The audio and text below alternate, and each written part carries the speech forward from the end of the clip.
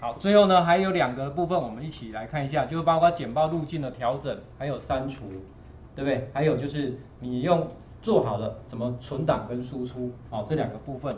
好，我们要广播，对不对？我看到大家脖子伸长了，我就知道了。哎，那我们来这边看一下，刚刚讲过路径的调整，按着这样是不是很简单？对不对？删除应该不用讲了，叉叉的话，这是大家最会的哈。好，那么如果你已经做完了，当然第一个动作要先把它的原始档先保留下来，就跟你 PowerPoint 会成成 PPT 意思一样嘛。你看我们右上角这里有个保存，对不对？好，这个你把它按储存。好，那它的副档名呢是，因为点 fs，好点 fs 哦，就 focus guy 那你存在哪里没有关系，好存起来，OK。那么好了之后，我们来做输出的动作。输出，那我们现在用的是国际版，所以就只能输出这个。你可以点看其他的没关系，它只是告诉你要升级而已，你还是可以点的哈，后面就没路了嘛。他告诉你这个付费的方案了，那原则上免你看免费的方案，我们放在云端的部分有一百 G 应该够了吧？我们现在那个 Praise 好像没有特别注明说那个空间的限制，可是说真的简报用到一百 G，你有那么厉害吗？你想看看文，我们大部分就是一些图片啊文字而已吧，除非你有放影片在里面，不然的话。真的档案要变大，事实上还蛮难的。你不要忘记，人家要看的时候要下载更久，对吧？如果你真的是你把影片砍在里面，好，很大的档案砍在里面，那这样看的时候不是要等更久吗？所以一般来讲，这个对我们来讲是够的哦。好，所以呢，如果我们这边就先试着输出到云端上，那你可以自己选择要不要公开。因为有些人我不想公开嘛，可是你展示的时候，你只要登录网页就可以展示了，好，一样还是可以，OK，这个那我就先不公开好了。第二个呢，你要选择一下你的简报到底是属于哪一类的，好，选好了之后呢，你可以按一下，它这边还有个 loading 的，就是内容加载中有没有？还在下载中啊，好像 Flash 就很常有这种东西，你可以自行设计一个你觉得比较喜欢的有没有？好，你可以自行设计一个那。再来就是我们在这边高级选项，关键字还有你的描述，这个描述它会自动抓我们简报里面的文字内容，把它加在里面。这个部分其实我会蛮建议，如果你是属于公开，而且又是怎么样，比较希望人家找到的关键字一定要下，就跟网页关键字一样啊，这是属于网页的关键字啊。好，中间你就用逗点隔开就好了。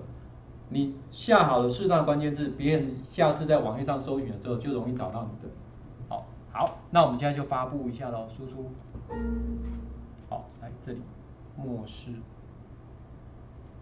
好，这边，他说那个标题有没有？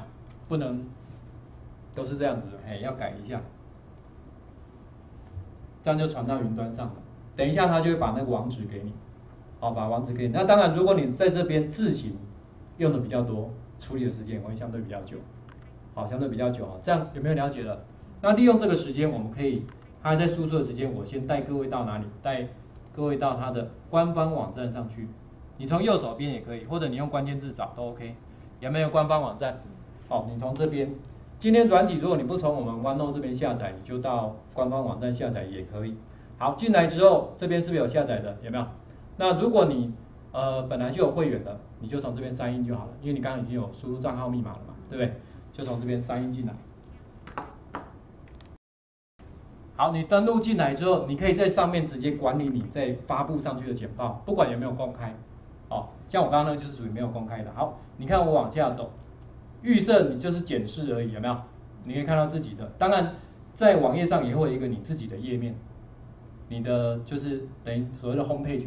哦，那如果你要做管理的话，你就找到左手边这里，有没有看到 My Presentation 这个地方？它可以用不同的资料夹分类，但是我的还不算太多了，大概十几二十个而已，所以我觉得还放在 Default 还可以哦，所以就进到这边，缩小一点，来，有没有看到删除的？有看到的，对不对？哎，甚至你可以复制一份，或者是怎么样？有些人不小心原始档不见了，有没有？请问你，如果你是 PowerPoint 原始档不见了，你要去找谁？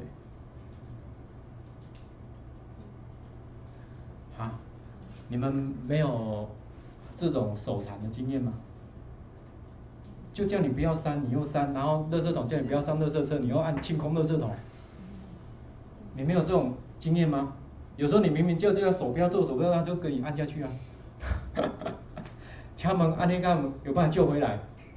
这种东西就是及早发现、及早治疗是有用的。但是如果你经过一段时间，通常已经被毁尸灭迹了。有一些旧有软体啊，档案旧的软体啊，如果你刚发生，基本上大部分都救得回来。即使清空垃圾车，有没有？清空就那个垃圾桶还是可以。哦，好啊，那个在我部落格才会有介绍，现在就不介绍。OK，所以你可以看到在这里有没有一个下载？有看到的哦，哎，所以也可以从这边再把它下载下来。所以等于你在上面事实上也可以等同，好像做一个备份的意思。好，做一个备份，那然后呢？你看我们这边已经好了，有没有输出成功？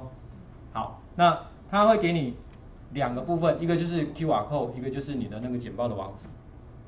甚至呢，如果你有需要砍入在网站里面，它会给你一个那个 iPhone 的语法，这样清楚？OK 哈，所以你看我们刚刚这边。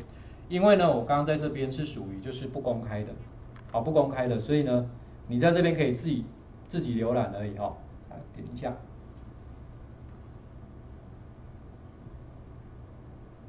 有没有这样就开始它就加载中？我们刚刚那个那个画面的讯息就是这样直接进来了。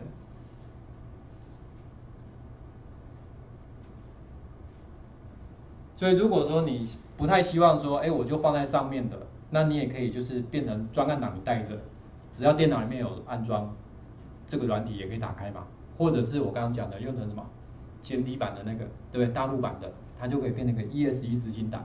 像我在桌面上这里，我就有一个 ESE 的执行档。有没有看到一个执行档？这是一个 ESE，我点两下打开，它就把它的什么播放程式打开。